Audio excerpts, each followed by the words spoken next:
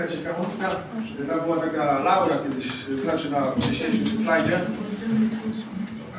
Zalogowaliśmy się w Albertu. To wiadomo, jeszcze tak szybko nie szliśmy się kąpać, trzeba było odpocząć. Jeden brodaty, drugi zarośnięty, drugi łysy. Wchodzi ta Laura, mówi, to jest chyba jakiś zespół heavy metalowy. Cofała.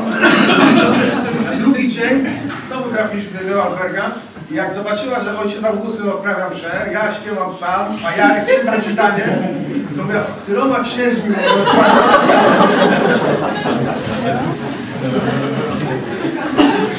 Tak, tam co męża szukała. Byliśmy przez 10 dni razem, pięciu facetów, to jest takie wymowne trochę, troszeczkę to jest droga autobusem już do Fatimy, ale nie wiem, mogli na siebie patrzeć, tylko tak podobnie się spało po prostu. Jeden w lewo, drugi prawo.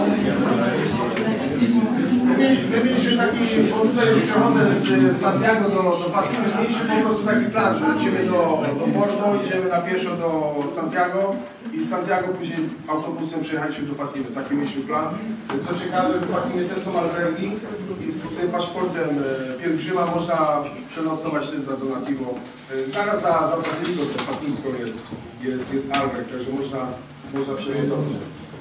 Jeśli się przyjechało autobusem, można jedną noc. Natomiast jeśli się przyszło pieszo, tak jak ten kolega z Francji, to mógł tam nocować dwie noce. Jako, jako, jako... Nie, tam jest, trzeba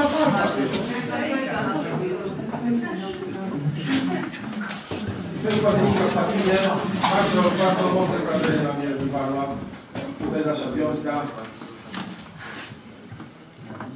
O, to jest ten Albert, co jest za, za, za, za. To są te dzieciątka z, z Fatimy.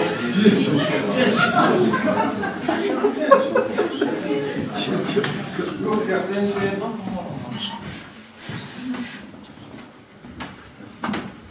No i nie mogło zabraknąć oceanu. Woda cholernie zimna. Zobaczycie, tam tyłu jest trójka ludzi, czwórka, która się kąpie. Ja, nie, ja niestety e, nie mogę sobie tego podarować i się wykąpałem, zanurzyłem się. Ale zobaczcie, tłum ludzi na plaży, natomiast w wodzie po kolana, po uda, po wodę naprawdę okrutnie zimna.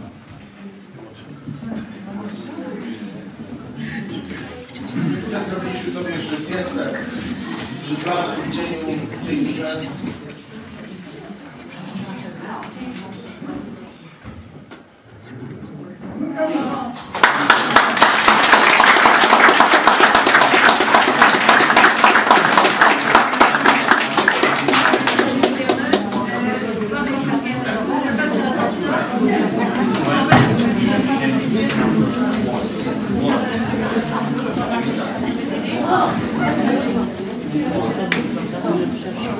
Jesus.